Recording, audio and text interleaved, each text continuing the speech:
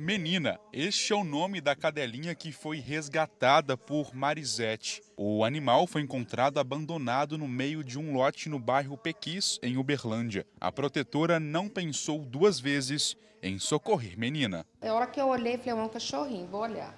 Aí eu olhei, perguntei todo mundo se alguém conhecia, se tinha donos. Falou, não. Então eu falei, então é abandonado. Aí eu vi os tumores que estão grandes, um já estourou. Aí eu resolvi a resgatá-lo. Tive que fazer um boletim de ocorrência, né? Porque isso é maus tratos. A gente emociona, né? Sério.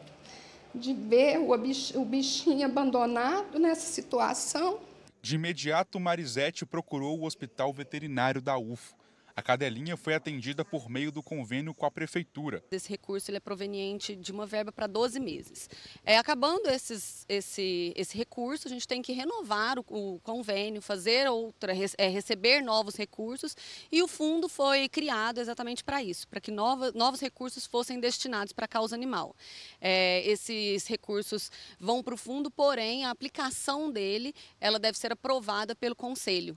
Aqui onde nós estamos é a UTI do Hospital Veterinário da UFO. A estrutura conta com profissionais qualificados e com muita dedicação cuidam, inclusive, de diversos animais por dia. Também o espaço conta com toda a aparelhagem necessária para os procedimentos.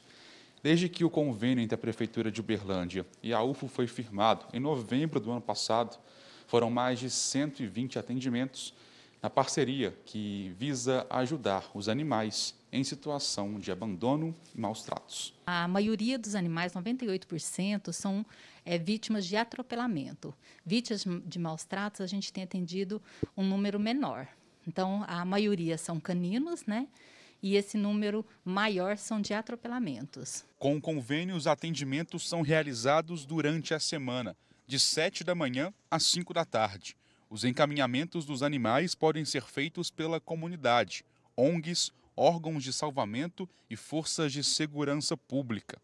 Porém, a procura pelo hospital veterinário só deve acontecer em casos comprovados de atropelamento ou de maus tratos com violência física. A pessoa se deparando com um animal atropelado, ela vai fazer o resgate, trazer até o hospital.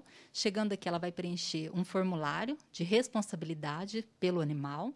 Então, aqui o hospital é um local de tratamento. A gente não recebe o animal para ficar com o animal. Quem traz o animal se responsabiliza por ele, acompanha o atendimento e leva embora para casa.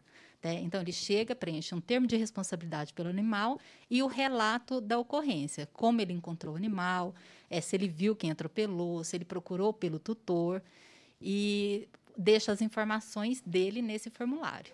Quem utiliza o serviço aprova a iniciativa e pede para que o poder público mantenha ações como essas. É o coração mesmo, o amor que a gente tem na criação, que faz a gente ter essas iniciativas. Essa iniciativa do convênio foi 100% é Deus que tocou no coração deles, deles criar essa iniciativa. E tem que continuar.